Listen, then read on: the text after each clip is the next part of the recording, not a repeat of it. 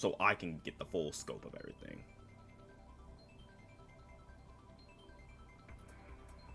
Because I would like to get the full scope of his pretty much his reasoning and what is happening. Because this was news to me, which was out of nowhere. And I'm like, damn. But now, hearing this, I'm like, okay. There's more to this than I thought. Interview the this interview done week before, week after the 2.0 half anniversary for global and Korean, so early May release today. Okay. Development began April 2018. Development had difficulties, but thanks to the efforts of colleagues, partners, since they played the game, where today, because yeah, the beginning of the game was, people, I watched that video. Yeah, the beginning of the game, holy shit, rough start. It was rough. Let's just say rough. says they all read the fanfics made for the contest and that he loves seeing the love is sincere for the students. He thinks that they do not fully meet the expectations of the teachers in terms of game quality. There is still a lot of fundamentally to improve. That's in that is that's interesting. Yes, the game can have improvement. Don't get me wrong. But overall, the gameplay the game is the game's fine. I think the game was fine. Uh, my guess is that as a dev, as a dev team, as a developer, especially, I would say you always want to strive for higher points. You know, going a little more above and beyond. You know, all that kind of shit. Saying that they not fully have met the expectations in terms of the game quality is uh I say that's a little bit of a low ball. It's probably different in his eyes, but I mean, the fans enjoy it. And overall, they've been improving the game for a while now and adding banger features as it is. So,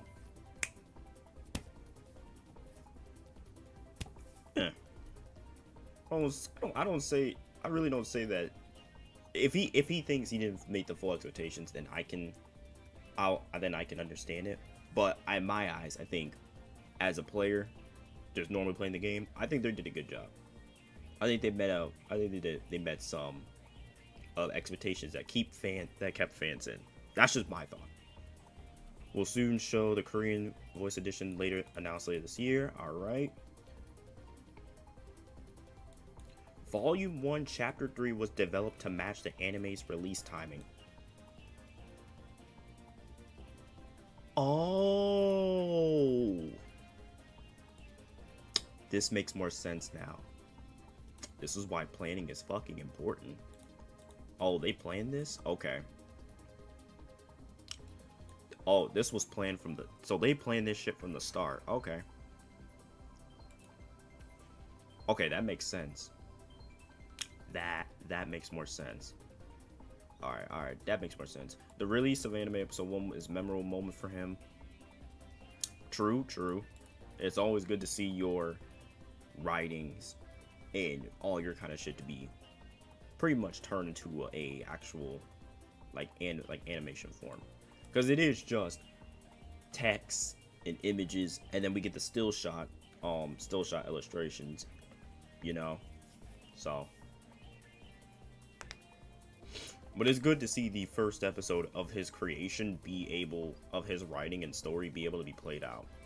About a season 2, he knows that the senseis will like a season 2, and he also knows that teachers want a more interesting follow-up season. However, he thinks uh, that a lot of preparation needed to meet the high expectations of senseis. He probably knows that the reception of anime among fans has declined a lot over the episodes. Possibly. Yeah, I, I can say that for sure. Maybe it's very it's very half and half. I will say this: the Blue Archive anime is definitely a big. It was a big half and half for people. Some people didn't mesh well with the anime, saying that it didn't really include everything, and others thought the anime did its job of what it's supposed to do. Pretty much give a little basic rundown of the volume, the first volume of chapter one. And I really don't know what what some of these people expected for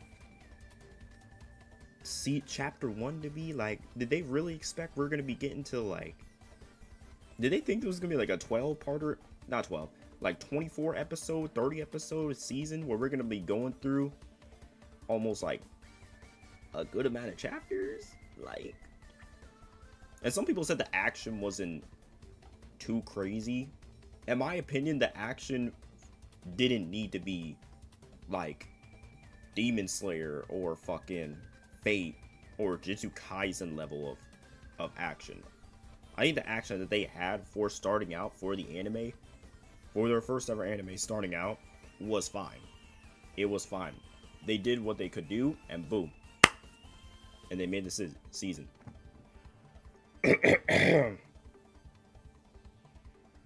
but definitely when episode 11 roll around. Yes, it was 11 roll around. That was the highest that was the highest reception of, of an episode, positive reception the episode got because it stayed true. There was parts in there that stayed true to the um to the game. And that's what people are looking for. People are looking for the game to stay true and honest with itself. But I'm glad to hear that they are still thinking about the anime and they want to keep the anime going. And they said lots of prep preparations are needed. So, if we're hearing about this, then quite possibly um I could see a 2-year develop I either see a one year development. So if they're developing it right now, that means we won't be seeing this until either late late next year or the beginning of or the beginning of the year after that. So it's pretty much 2025. No, no, no. The beginning of 2026, I should say. If they're thinking of massive preparations in their minds, I would say to I'd say give it uh give it two years. Two years. I'd say give it two years. Uh, the future Blue Archive and Team Reconstruct restructuring as a prideful grat of gratitude from my colleagues said that he knows the tastes of Sensei players are different from the mainstream audience and therefore the first think about Sensei rather than make an ambitious choice to please all gamers and attract wide audience whether in-game or outside the game. Says the best decision they made was to go with an academy setting and make a colorful game in an era where gotchas lean towards a dark atmosphere, and that and that thanks to they managed to create a game that is loved even with a bright and light atmosphere. Beginning enough on the collies, they have become a very big organization in Taco, Korea. Thanks to game play together. They have a long roadmap. Archive's use is growing and has expanded. With better features, probably talking about things like the NAS class event, mini games, control Hina, and he said there will be the next step, expanded development ratio. That is true. Mm, that is true. That is true. And this is um all of them that are pretty much being changed around here. Everybody's getting changed and shit like that. People, some people are stepping back from their roles and all that stuff.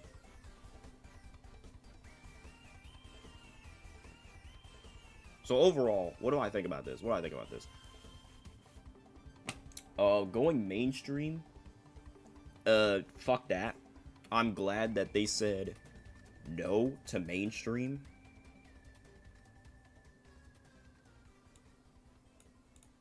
I'm glad that they said no to mainstream because that really does. Um, there, there's a there's two sides to this. It's a double-edged sword it's another case of the of going being mainstream and having your own niche. It's a big double-edged sword. Going mainstream means you have a way more op there are way more opportunities, more offers, investors, a wider audience, and more eyes on you. I get that.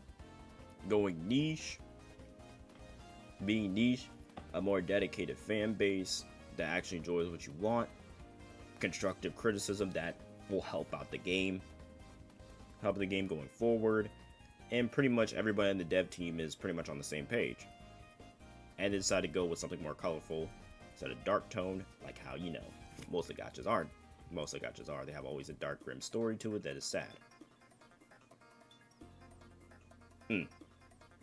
I'm glad they made that choice. Really glad they made that choice not to go mainstream. It's better to just please your fans instead of just pleasing everybody because you know how it went. I think everybody knows what happens when you try to please everybody. And you're this when you're a big gotcha game, you try to please everybody, you please nobody. And guess what? Genshin Impact.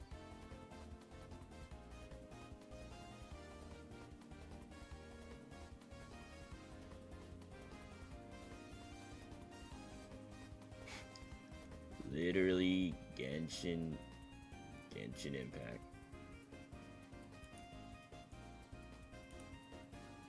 It's it's crazy, bro. It's it's fucking crazy. Man, my timer went off. But um should I make I don't know if I'll make this a video.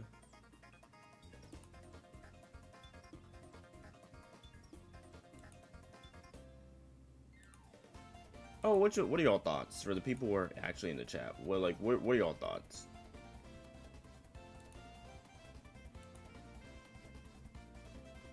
Because I say, in my, I, I would say, give it time. In my opinion.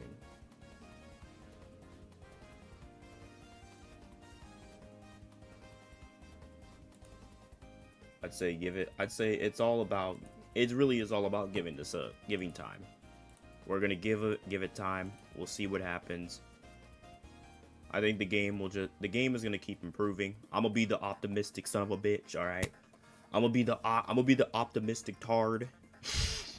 all right, check it out the oven. But like I said, a game like this is a game like this. It's one of a kind.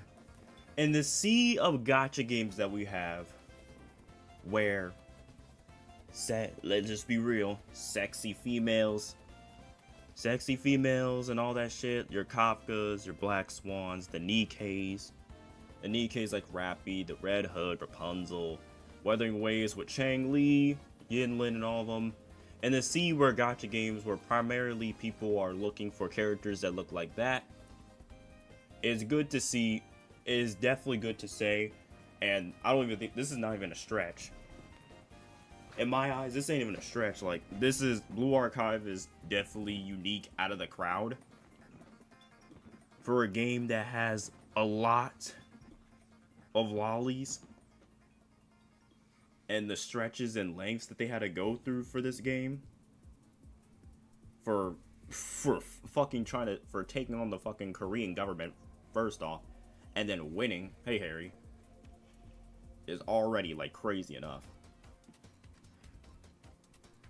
already crazy enough. Like the lengths that the developers and the game and the community has went through. This game is really a one of a kind gotcha game. If you're being real.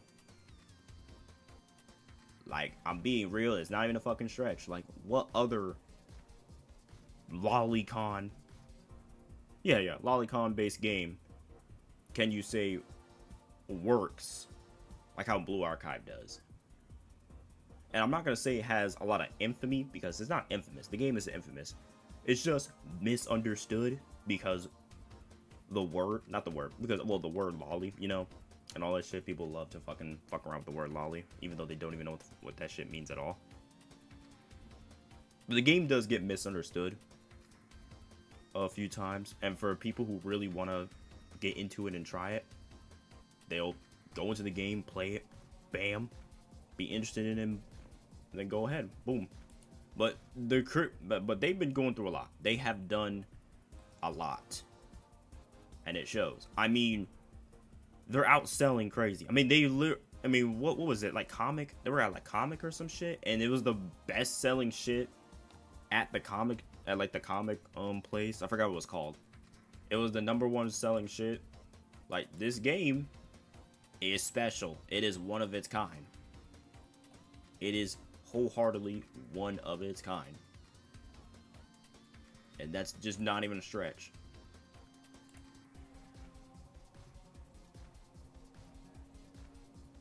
This is just indeed a fact.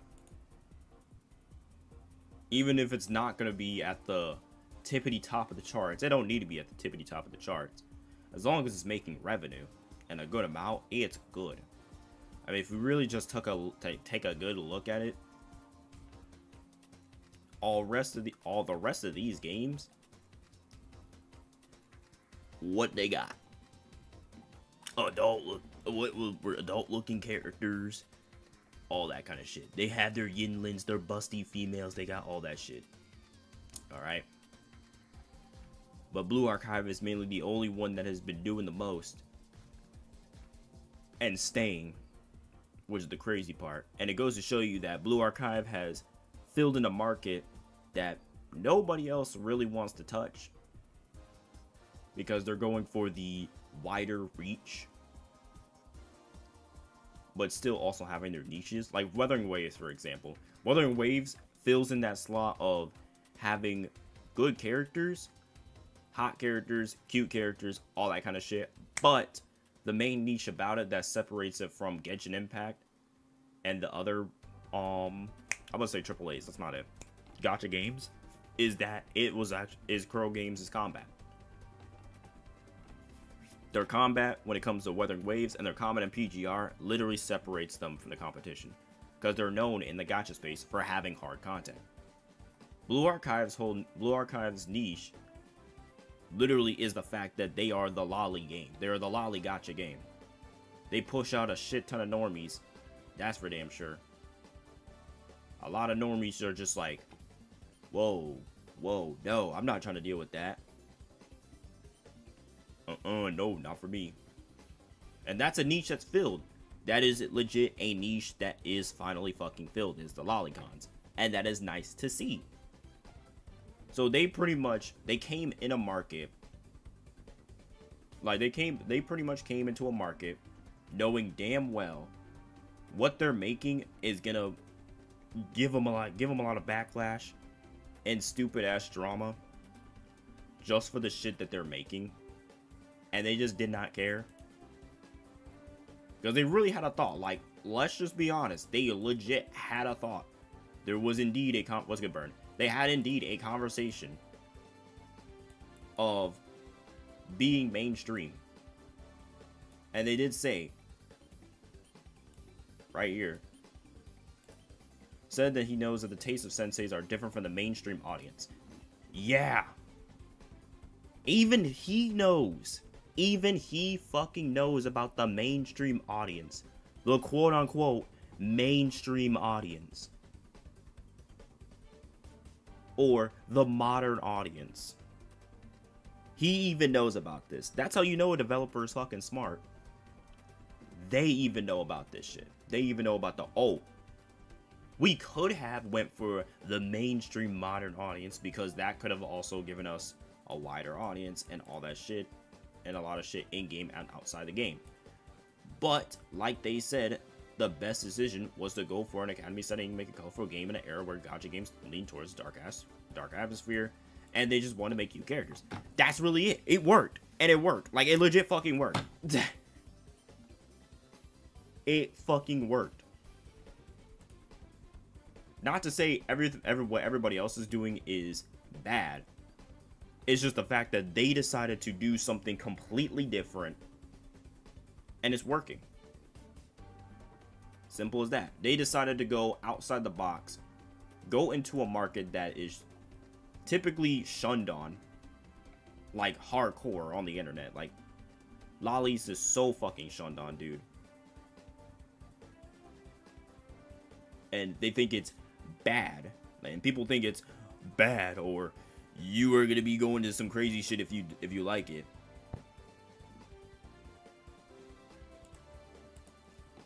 Or oh, the one in Blue, Ar Blue Archive.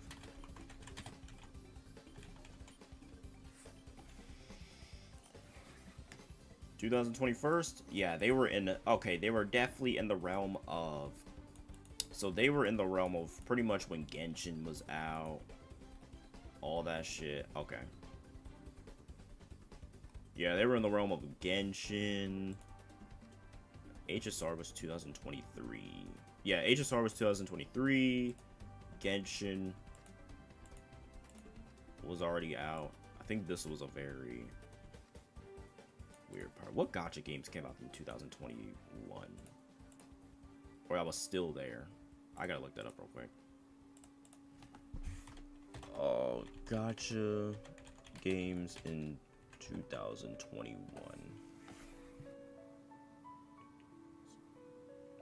Yeah, I don't think there was a lot. I don't believe there was a lot.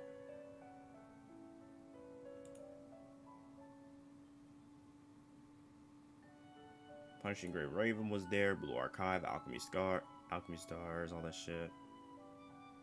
Arknights, honestly, so there was a lot of shit. But the main, but the literal main big dog, um, big dog of the group was Genshin Impact because it was just super fucking huge. I believe Nikke was a lot later. Let me check. I think Nikke was 2000, um, 2022.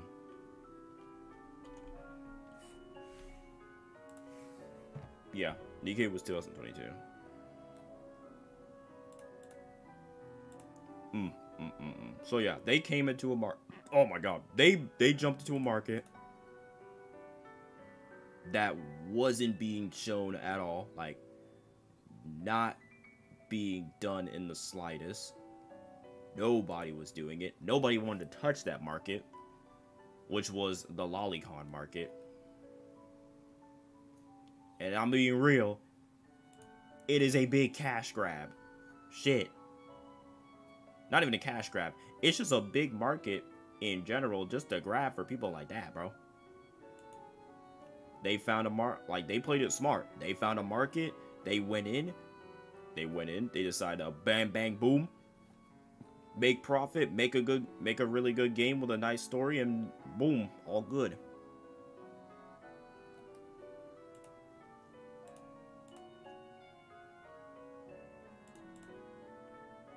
So, all in all, I'm glad that they decided to stick with what the senseis wanted and not go mainstream. Because the mainstream audience is, well, nobody, to be honest. I'm glad they're still thinking about Season 2. I'm really, I'm happy that they're still thinking about a Season 2. And I already know Season 2 is going to be Volume 2, Chapter 1. Jesus, I really hope they do well with that. Is like I, if they're gonna really knock it up, if they're gonna try to knock it out the park with the season two, I hope they do. When it comes to this next volume, because oh my god. oh lord, it, let's just say, oh man, let's just say, it's gonna be a very very interesting time for that season two. That season two is gonna be interesting to say the least. I already know, I already know people. God damn, bro. Where I was gonna do, I was made fun of. Uh, what was that? I was, I made fun of my friend who was looking at the development of BA. Grateful for introducing me to the game, honestly. December of last year. Yeah as a lot of people knew about it. See, I knew about the game too. There's the thing, we all knew about it, but we just didn't play it on. And I feel like if I played it earlier and talked about it more, hmm, then Sid could have been changed. Who knows? Who knows?